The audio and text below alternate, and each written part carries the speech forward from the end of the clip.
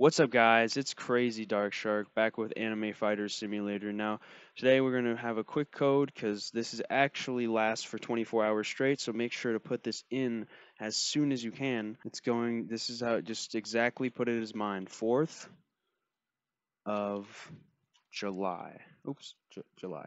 Like that. Just like this, and you should get some stuff. Happy Independence Day. Anyways, guys, make sure to put this in for the 24 hour mark. If it doesn't work, then it is expired, sadly.